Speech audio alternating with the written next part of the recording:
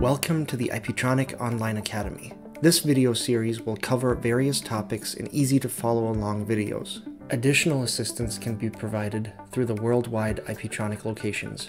IPETRONIK is currently made up of five different business units. This video will focus on the Measure and Motion products. In today's video, we will cover some of the more advanced post-processing features inside of IPEmotion. We will look at the Data Manager tab in more detail and focus on how to enhance data by adding and removing channels and calculations, how to export data, and how to convert it into different file formats. We will then move on to the Analysis tab and see how our post-processing visualization can be used to display the recorded data.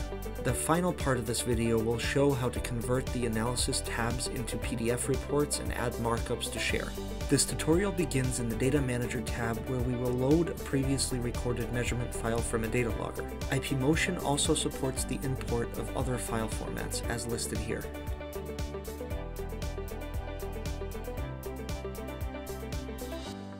When the file is successfully imported, we will see a list of all the available channels and measurement values in a table format.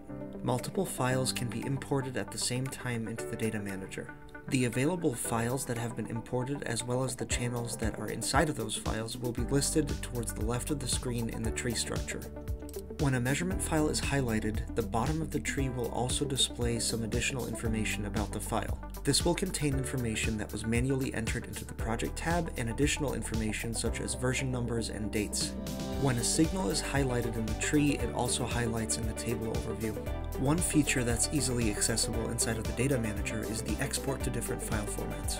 Click on export and choose the file format that you'd like to export to from the drop-down menu. Please note that not all file formats are compatible with all types of data. For example, a CSV file will not support a video channel. If you want to modify your file before you export it, click on the little arrow below export and select detailed export. In this submenu, you'll be able to select not only the file format, but also the duration inside of the measurement file that you would like to export. Let's say that 8 hours of data were recorded, but only 2 of those hours are interesting. Select the start and stop point of those 2 hours and click export.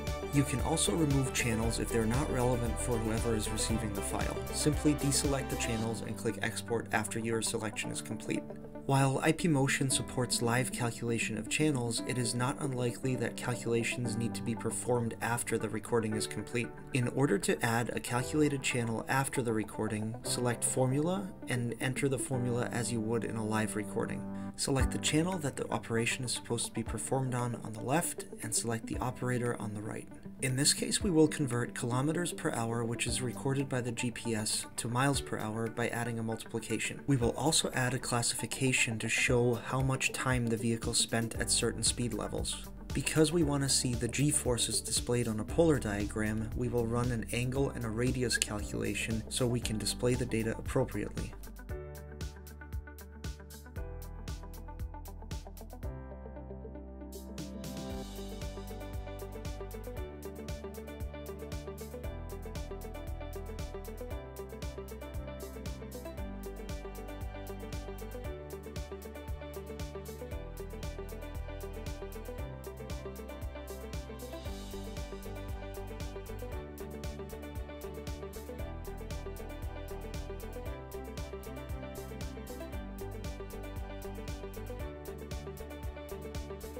Now that our post-processing in the data manager is completed, there is also a way to export this into an Excel spreadsheet. Simply click the Excel button in the top blue ribbon.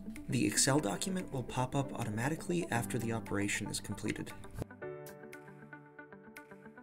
When the data is viewed in the Analysis tab, the left side of the screen is the familiar tree structure that contains all the files and the individual channels. The table next to the tree shows the current value of all the displayed channels depending on the Analysis cursor position. All data is time synchronized, so moving the cursor on the video or the YT chart results in the same values.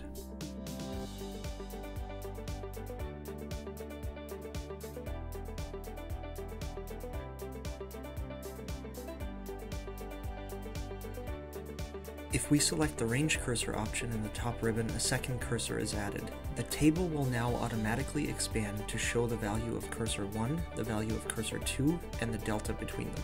We can now also run calculations across the range for minimum, maximum, and deviation, as well as average values. Right-click on the top of the table, select the column chooser, and add the columns that you wish to calculate. When your range is selected, click the Formula button towards the top left of the table to run the calculation. These are the features once the view screen has been configured. Now we will go through step by step on how to get to this point. Configuring dashboards for analysis is the same as configuring view screens. Go back to the videos linked here to learn more. We will start by adding the polar diagram as the first visualization element. We will now add the angle and radius calculation that we previously did in the data manager. Make sure that you add them one at a time. To make it easier to read, we will rotate the polar diagram by negative 90 degrees.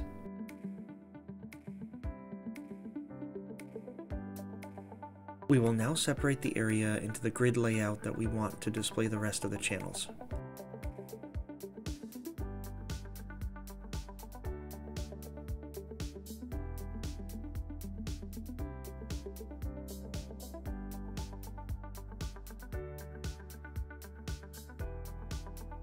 After the grid is laid out, right-click in the empty areas and select the visual elements that you want to use to display the channels. Simply drag and drop the signals that you want to display from the tree onto the visual element that you've selected. When selecting a map element, just like with the polar diagram, make sure that you add latitude and longitude one at a time. An internet connection is required for the map element to display properly. If there is no internet connection, the route will still be visible, but the map will be added once an internet connection is available.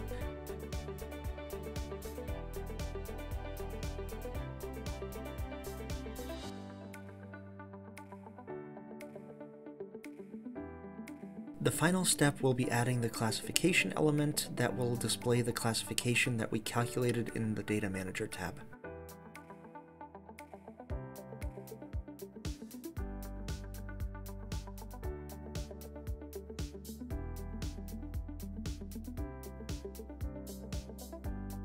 If the range cursors are selected, right-click on the range that you have selected and select Export Cursor Range. All signals within the cursor range will then be transferred into a new file.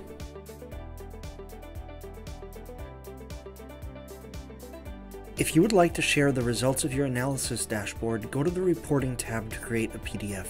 Your current view will be converted into a PDF document that can be marked up with different tools. Select the view pages and the project parameters that you want to be included in the PDF. Simply check the checkboxes in the tree structure. To add markups such as text, arrows, shapes, or images, select the appropriate item from the top ribbon. We will add a text box, an arrow, and an image for the purpose of this demonstration. Feel free to replace the IPEmotion logo with your own company.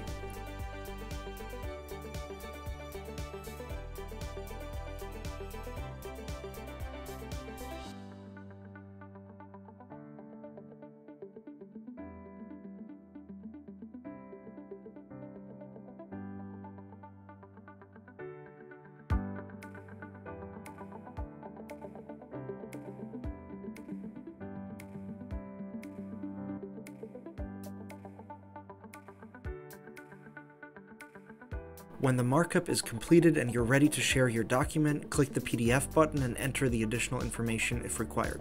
You can then save the PDF and open it, as well as share it with anyone even if they do not have the IPEmotion software installed.